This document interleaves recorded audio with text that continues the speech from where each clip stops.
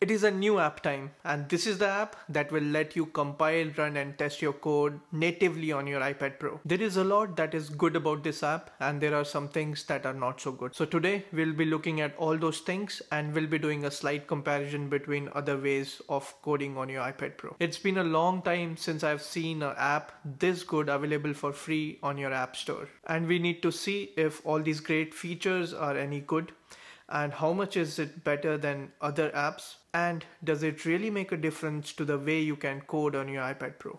Hey guys, welcome back to my channel. If you're new here, my name is Navi and I like to make videos about tech products and programming tips and tricks. And if you like my videos, please consider subscribing to my channel to get notified when I post new videos. So without wasting any time, let's look at the first app which lets you code on your iPad Pro for absolutely free, which is called Carnets. It is a great app if you are especially a beginner because it has got this Jupyter notebook like layout which lets you write, run and test your code quickly. I really like its performance. In my use so far for 5 months it has worked well without any glitches and issues. As you can see it has got all these menu bars like you would have in a typical Jupyter notebook.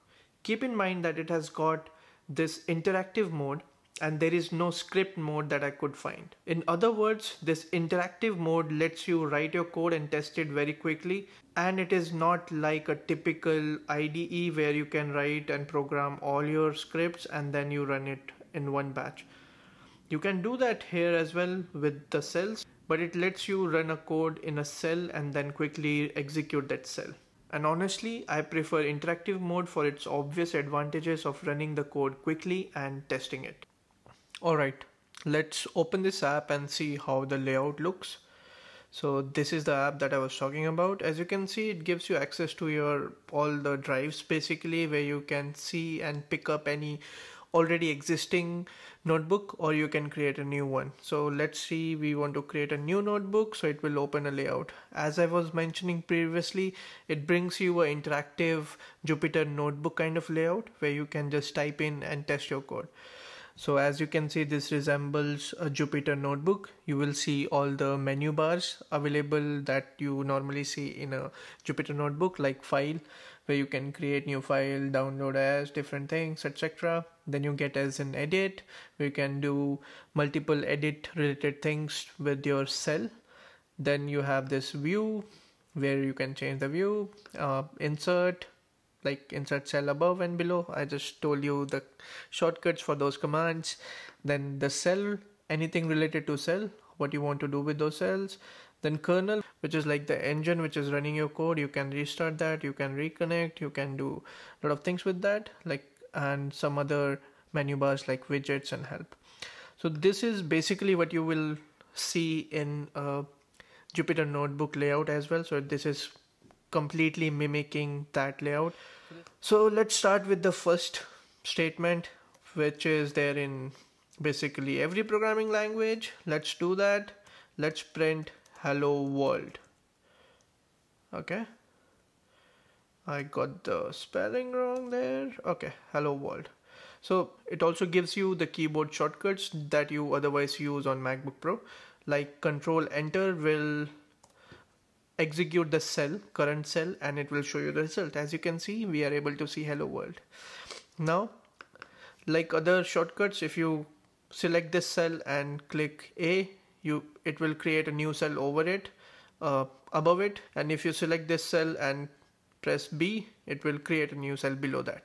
So let's say we want we created a new cell below that. And let's do some very simple mathematical equations let's say a equals 3 and uh, let's print square of a. Again control enter will print 9 if you don't want to do control enter you can click on this run button and it will run. Okay?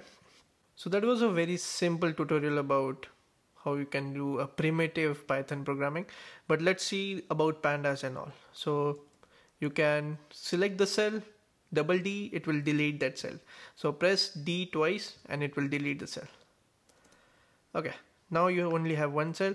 First of all we want to import pandas as PD okay. I again got the spelling right. Alright I'm still getting used to of typing on this keyboard which is really good by the way. Alright once you have that so let's say I want to create an empty data frame in pandas. So after importing pandas as PD what I'll do I'll just type PD equals to sorry data frame equals to PD dot I'll say PD dot data frame and I will just print this data frame. Okay?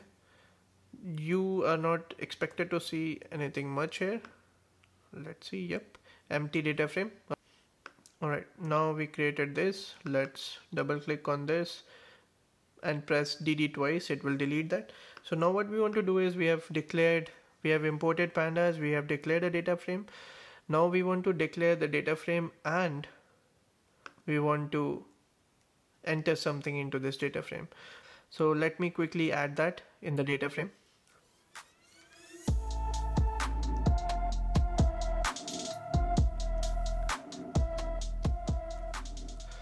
After entering the data for your rows, now we will define the columns that you can do in this way. Name. Basically, we are creating a matrix for students with their marks. So name and now let's define some of the subjects so let's say this is physics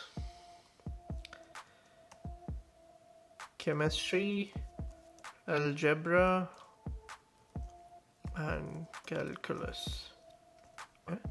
and now after you have created the data frame now let's print this data frame and see how it looks data frame and press Ctrl Enter. As you can see, whatever you entered is already coming here.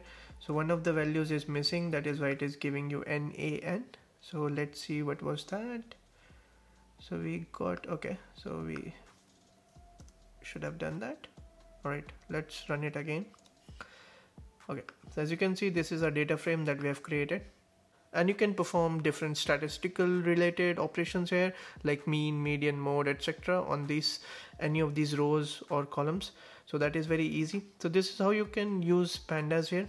So let's do one more thing. Let's create a new cell after this and see if we can import numpy. This is another library that is really used a lot.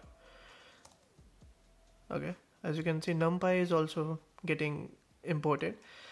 If any of the libraries doesn't exist this is how you can install them. Just do exclamation pip install um, let's say you want to install dash and just run this.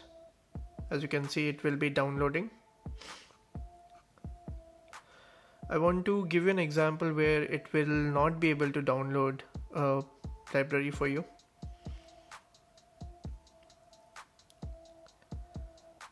Okay. Uh, uh, uh. right I think we got an error.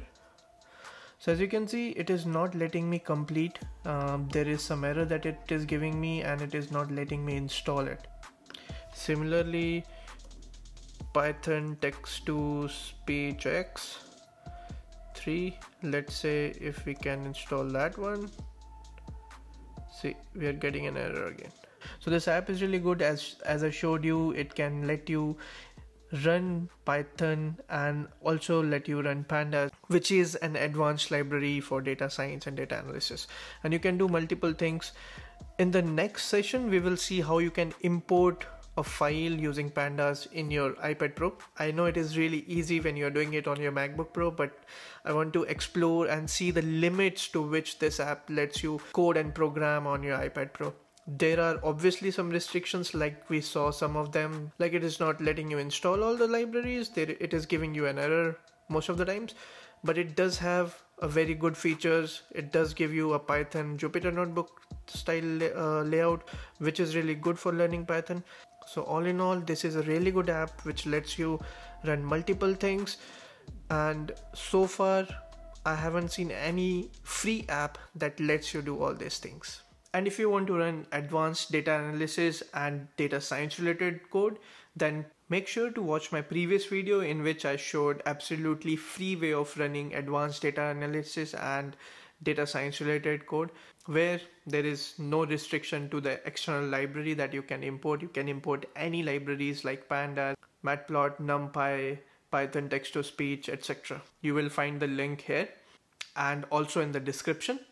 Again, I'm still trying to explore more ways that lets us code on iPad Pro effectively. So if you come across any of those apps or ways, do let me know in the comment section. I would really appreciate that. And if you learned something new today, a like is really appreciated. And if you haven't already, please subscribe to my channel for more such interesting videos and content. Like always, see you in the next one. Don't forget to exercise today.